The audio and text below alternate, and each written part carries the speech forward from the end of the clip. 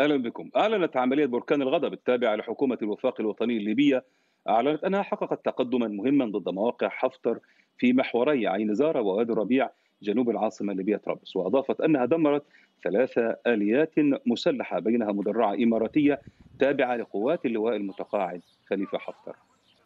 من جانب آخر نشرت وزارة داخلية حكومة الوفاق الليبيه صورا للأضرار التي لحقت مركز شرطة النجده بمدينة غريان جنوب طرابلس جراء تعرضه لقصف بطائرة إماراتية مسيرة الأيام الماضية. وذكرت الوزارة بأن مثل هذه التصرفات ليست الأولى من نوعها التي ترتكبها ما وصفتها بالميليشيات المدعومة من دول خارجية وطالبت وزارة الداخلية الليبية المجتمع الدولي بتحمل مسؤولياته تجاه تلك الجرائم. وكان عميد بلدية الزنتان مصطفى الباروني قد أكد في اتصال هاتفي مع سفير الولايات المتحدة في ليبيا ريتشارد نورلاند. أكد على رغبة الليبيين في المنطقة الغربية في أن يروا نهاية للهجوم على طرابلس. وقال نورلاند إن الولايات المتحدة تشارك الليبيين في هذا الهدف وإن العملية السياسية الشاملة فقط هي التي يمكن أن تحقق السلام والاستقرار في ليبيا. وأضاف أن الوكالة الأمريكية للتنمية الدولية على استعداد للعمل مع رئيس بلدية زنتان لمعالجة التحديات التي تواجهها البلدية وتعتبر زنتان أكبر قوة عسكرية في الجبل الغربي جنوب غرب طرابلس يدعم مجلسها العسكري الحكومة الشرعية وكذلك مجلسها البلدي ومعظم نوابها وأعضائها في مجلسي النواب والدولة ومكوناتها الاجتماعية وكان رئيس برلمان طبرق عقيل صالح قد التقى قاد بارزين بقوات خليفة حفتر في اجتماع كان لافتا غياب الأخير عنه. وقال مجلس نواب طبرق في بيان عبر صفحته على فيسبوك إن صالح التقى بمدينة القبة كل من عبد الرازق عبد الرازق الناطوري وصقر الجروشي ومحمد السنوسي وخير التميمي. وأضاف المجلس أن المذكورين تقدموا بالتهنئة لصالح بمناسبة حلول عيد الفطر المبارك وأطلعوه على مستجدات الأوضاع الميدانية وآخر التطورات العسكرية في كافة أنحاء البلاد. ويأتي غياب حفتر عن هذا الاجتماع في ظل الخلاف المستمر مع عقيل صالح منذ إعلان مجلس نواب طبرق في الخامس والعشرين من مايو الجاري رفضه إعلان حفتر تنصيب نفسه حاكما على ليبيا وإسقاط الاتفاق السياسي لعام 2015 من جانب آخر قالت القيادة العسكرية الأمريكية في إفريقيا أفريكوم قالت إن الطائرات الحربية الروسية التي وصلت إلى ليبيا حطت في قاعدة الجفرة الجوية وأضاف المتحدث باسم أفريكوم لمراسل الجزيرة أن 14 طائرة من نوع ميج تزودت بالوقود قرب طبرق قبل وصولها إلى الجفرة هذا وأكدت فرنسا أن روسيا تولت جلب مقاتلين سوريين لدعم قوات اللواء المتقاعد خليفة حفتر في حربها ضد حكومة الوفاق الوطني الليبية وحذرت من تكرار سيناريو سوريا في ليبيا. وقال وزير الخارجية الفرنسي جان إيف لودريان إن حكومة الوفاق الوطني مدعومة من تركيا تجلب للأراضي الليبية مقاتلين سوريين بأعداد كبيرة بآلاف عدة وأضاف لودريان في تصريحات له أمام لجنة الشؤون الخارجية والدفاع في المجلس الشيوخ الفرنسي من جهة أخرى حفتر يفعل حفتر الأمر نفسه ويحصل ولكن بدرجة أقل لأن عدد القوات أقل. هناك روسيا التي تجلب بدورها مقاتلين سوريين لدعم معسكر حفتر حسب تصريحات وزير الخارجية الفرنسي. وفي السياق ذاته جددت المستشارة الألمانية أنجيلا ميركل دعوتها لوقف إطلاق النار في ليبيا واستئناف المحادثات السياسية من أجل التوصل إلى تسوية.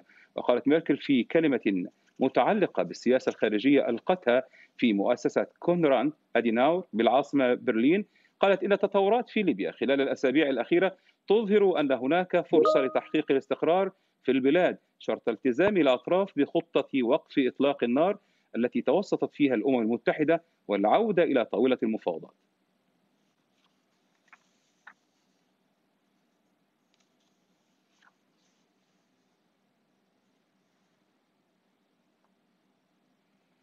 من جانبها أبدت الأمم المتحدة قلقها البالغ إزاء الأنباء الواردة من ليبيا بشأن تدفق هائل للأسلحة والمعدات والمرتزقة على طرفي النزاع الدائر في هذا البلد مناشدة الدول احترام الحظر الأممي المفروض على إرسال أسلحة إلى إلى الدولة الغارقة في حرب أهلية طاحنة. وقال المتحدث باسم المنظمة الدولية ستيفان دوغاريك قال للصحفيين نتابع بقلق بالغ. التقارير الأخيرة بشأن تدفق هائل للأسلحة والمعدات والمرتزقة دعما لطرفي النزاع الليبي. لسنا في وضع يسمح لنا بتأكيد أو إنكار ذلك.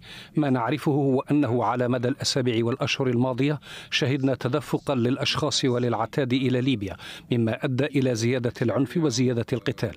ليبيا لا تحتاج إلى مزيد من الجنود ولا تحتاج إلى مزيد من الطائرات بدون طيار ولا تحتاج إلى مزيد من الطائرات الحربية. ما تحتاجه هو السلام وهو ما ينادي به الشعب الليبي. وفي مقابلة مع الجزيرة قال رئيس المجلس الأعلى للدولة في ليبيا خالد المشري قال إن قوات حكومة الوفاق ستضطر لاقتحام مدينة ترهونة إذا بقي من وصفهم بالمجرمين فيها. وأشار إلى أن هناك تواصلا مع الأهالي لتسليم المدينة تجنبا لسفك الدماء. طبعا هذا أمر يعود إلى الأهالي ترهونه والقوات المتواجدة في ترهونه في تواصلات ربما يتم التسليم مع إخراج المجرمين. هذه هي الحل الوحيد لكن إذا بقي المجرمين في ترهونه فنحن للأسف سيكون اقتحام بالقوة وهذا أمر سيكون مكلف. وأضاف المشري أن الإمارات ترى في ليبيا منافسا اقتصاديا وأنها لن ترضى بأن توجد في ليبيا دولة مستقرة ديمقراطية معربا عن خشيته من أن يمتد تأثير الإمارات إلى دول أخرى.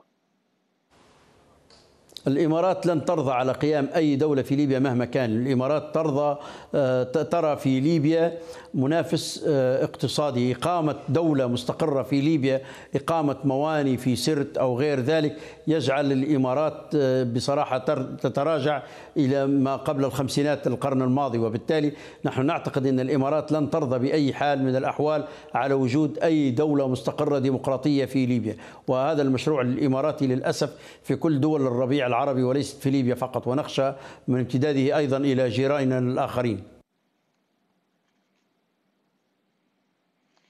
لمناقشة الأوضاع في ليبيا انضم إلي عبر سكايب السيدة أمنة مطير عضو المجلس الأعلى للدولة في ليبيا. وأرحب بها كما انضم إلي عبر سكايب من جنيف السيد بلال سليمة الباحث في قسم السياسة الخارجية بمركز سيتا بأنقرة. أرحب به وأبدأ مع السيدة أمنة مطير. سيدة أمنة مطير استمعت إلى كل هذه الأخبار. أبدأ معك بالخبر الأخير الحديث عن ما قاله السيد المشري ودور الإمارات يعني وأن الإمارات لا تريد لليبيا أن تكون دولة مستقرة ديمقراطية بسبب ربما رغبة الإمارات في السيطرة على المواني في ليبيا، كيف هو تعليقك على هذا الكلام؟ أولا السلام عليكم ورحمة الله وبركاته لا يخفى على أحد أن ليبيا تتمتع بشاطئ. كبير جدا جدا وهذا الشاطئ يعني هو هو من عرض ليبيا لهذه لهذه الابتزازات ونحن نعلم جيدا أن الإمارات لها شركات تشتغل في شركات نفطية تشتغل في ليبيا وهذه الشركات عليها يعني تجاوزات كبيرة جدا ويشوبها الفساد في ملف النفط الليبي. ولكن عندما ننظر إلى المواني والإمارات نشطة في هذا الموضوع وتريد استثمار هذا الموضوع ليس لغرض الاستثمار وإنما لغرض تقليص الدول الأخرى كما فعلت بالصومال و وأريتريا تقريبا وهو أوقفت هذه المواني لكي يشتغل لكي تشتغل جبل علي على هذا على هذه الأمور. نحن خصوصا المنطقة الممتدة في في الوسط وهي من مدينة سرت ومصراتة وهي كان في السابق هناك من يحاول أخذ هذه المنطقة لجعلها سوق حرة وإعطائها لفرد واحد في في حكومة علي زيدان بالتحديد لإعطائها لفرد واحد للقيام بهذا الأمر. وطبعا نحن كأعضاء مدينة سرت رفضنا هذا الأمر وطلبنا أن إذا إذا يراد من مدينة سرت أو مدينة يعني مدينة سرت أن تكون أن تكون سوق حرة يجب أن تكون يعني يطرح هذا الأمر للاستثمار الدولي وليس لاستثمار فرد فقط.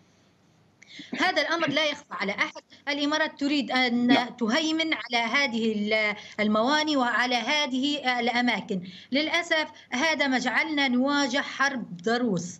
عندما يعني أوقفت الإمارات عن فعل ما تريد اتجهت إلى الاتجاه الآخر وهو دعم شخص عسكري أسير عسكري سابق وطبعا في القانون العسكري الليبي هذا هذا الشخص لا يحق له قيادة الجيش الليبي ولا يحق له الدخول ضمن المنظومة العسكرية باعتبار أن كل نعم اسير تسقط عنه العسكرية. نعم.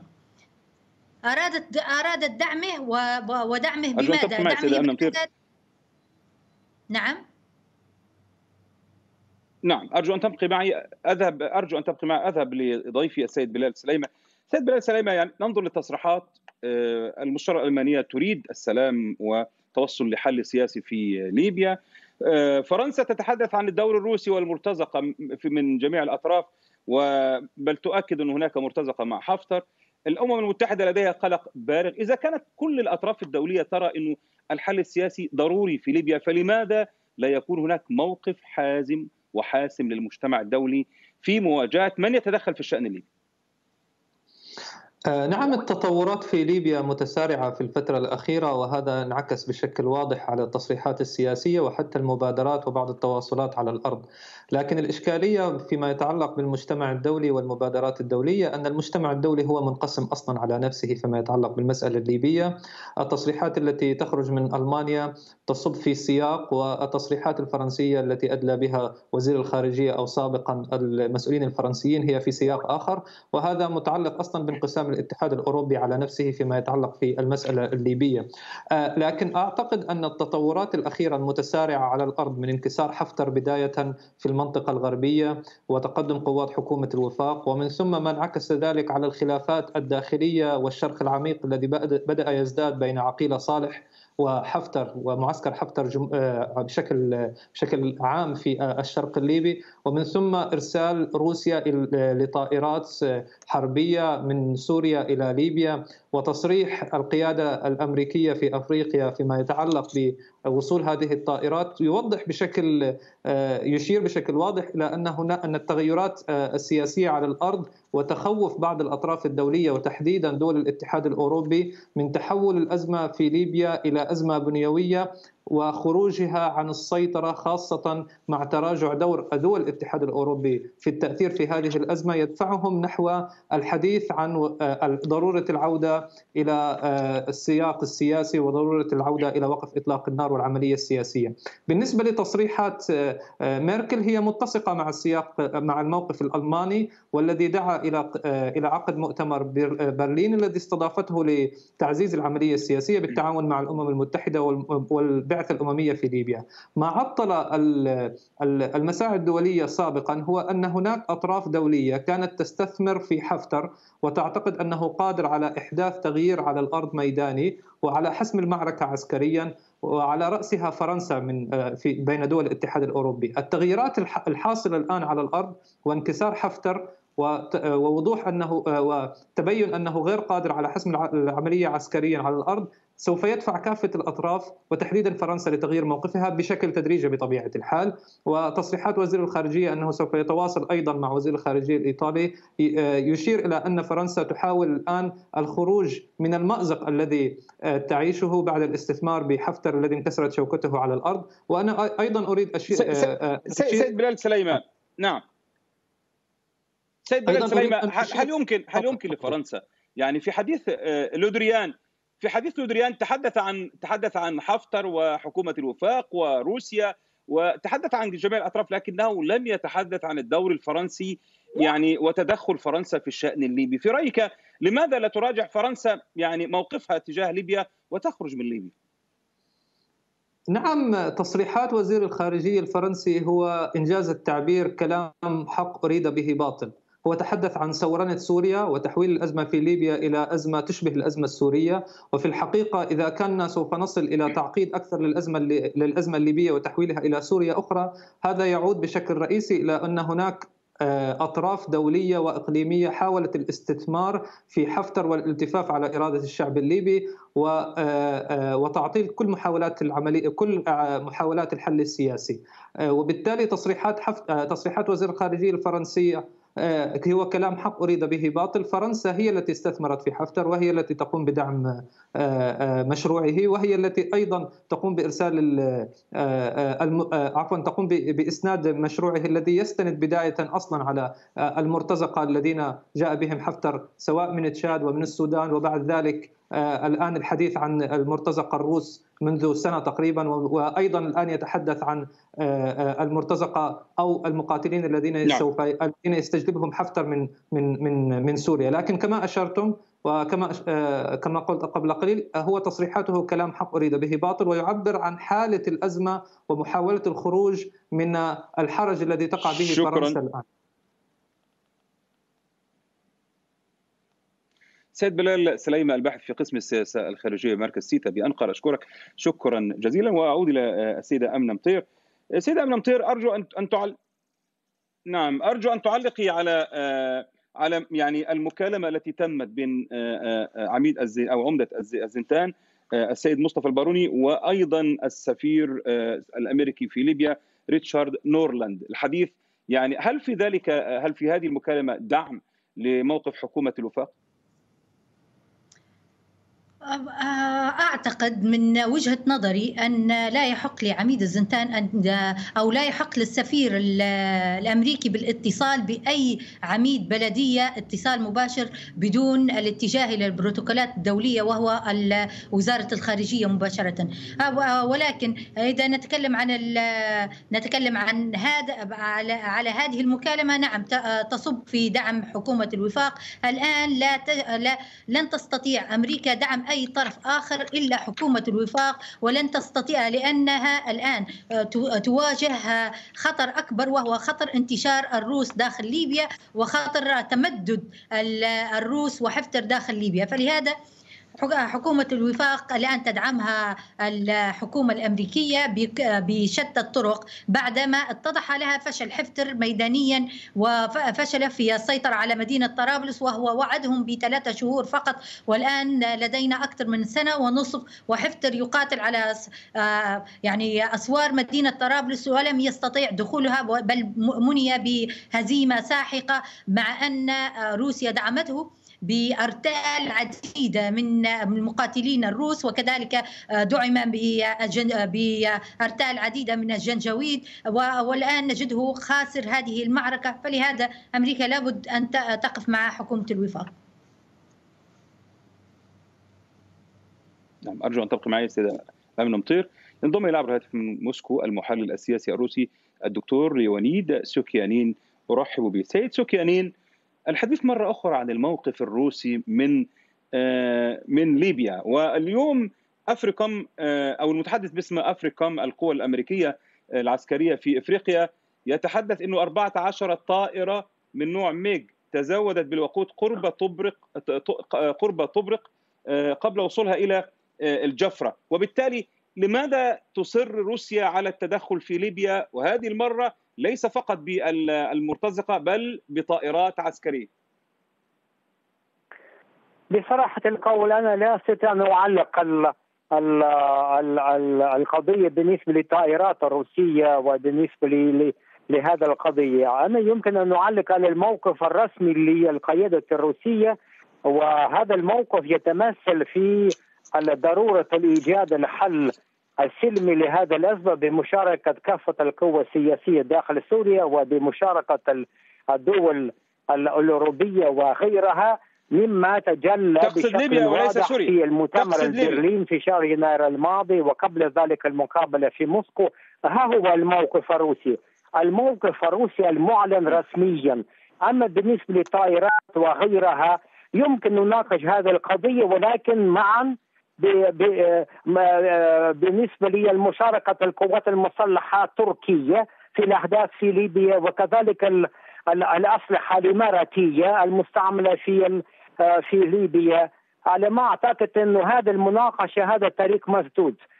المناقشة البناءة هي مناقشة كيفية وقف اطلاق النار طريق في ليبيا طريق لماذا لماذا طريق يا يا سيد سكانين يا سيد سكانين لماذا لماذا طريق مسدود يا سيد سكانين بمساعدات بمساعدة دولية سيد سكانين أنا أسألك عن نحو عن ايجاد الحل السلمي يا سيد سكانين. نعم. سيد سكانين أسألك أيضا عن أسألك أيضا عن الموقف الفرنسي. السيد لودريان جان إيف لودريان وزير الخارجيه الفرنسي أكد في كلمة له أن هناك مرتزقة روس موجودين في في ليبيا وأن روسيا من تجلب هؤلاء المرتزقة سواء كانوا روس أو سوريين. أيضا أريد تعليق منك على هذا. يجب توجيه هذا السؤال لوزير خارجية الفرنسي؟ بصراحة القول يعني قبل كل شيء كما سبق لي أن قلت أنه من الضروري التعاون الدولي في الجهود الرامية نحو إيجاد الحل السلمي. إذا كانت هنالك المرتزقة من روسيا أو من تركيا أو من تشاد أو من السودان أو الأسلحة الأجنبية تستعمل في ليبيا هذا هو نتيجة طبيعية للكارثة التي بدأت من تدخل الناتو والفرنسا كذلك والأمريكا في الأحداث في ليبيا قبل عشر سنوات تقريبا. هاي كانت البداية. بدون واهمالا لهذه البداية كيف يمكن نحن نحلل كيفية وقف اطلاق النار وكيفية تحويل النزاع والحرب الأهلية في ليبيا إلى الحوار؟ وإيجاد المستقبل السلمي بما يستجيب المصالح الليبيين كلهم جميعا. على هذا الأساس من الضروري أن لا نركز على الاتهامات المتبادلة بين روسيا وبين تركيا وبين فرنسا ولكن يجب التركيز على الجهود المشتركة نحو في سبيل إيجاد السلم لهذا الأزمة. شكرا. وإذا كنا نحن شكرا سيد نهمل تعاون الدولة ولكن المحلل السياسي الروسي شكرا جزيلا لك. هذه تصريحات صادره عن جهة من الجهات. هنالك تصريحات الروسية وتركيا وغيره وغيره هنالك لحكومة الوفاق هنالك هنالك الجيش الليبي وغيرها. هذا هو المناقشات العالمية التي لا قيمة لها. القيمة قبل كل شيء تكمن في الجهود الجدية البناءة في سبيل وقف اطلاق النار وايجاد المعالجه السلميه لهذا السيد الأزمة. السيد ليونيد سوكيانين المحلل السياسي الروسي أشكرك شكرا جزيلا وأعتقد يعني أنت كما قلت جهود بناء الجهود الجهود البناء أن تتوقف كل الأطراف التي تتدخل في ليبيا عن التدخل في شأن ليبيا الداخلي، أيضا أشكر ضيفتي عبر سكايب السيدة أمنة مطير عضو المجلس الأعلى للدولة في ليبيا. شكرا جزيلا. نستكمل المسائي